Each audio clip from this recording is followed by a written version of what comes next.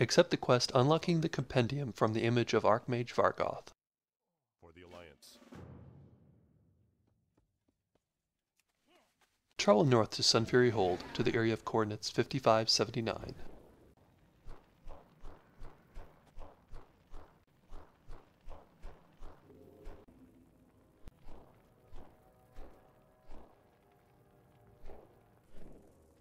Kill Spellreaver Marathelle, and loot the Heliotrope Oculus from her corpse. Turn in the quest by using your Archmage Vargoth staff to summon the image of Archmage Vargoth. Be careful.